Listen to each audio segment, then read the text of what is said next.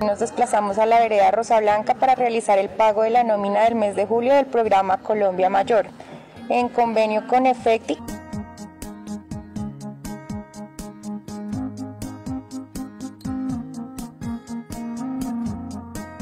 Excelentísima porque está muy delicado salir a la ciudad, es imposible y más que una persona ya tan de tanta edad avanzada, es muy bueno.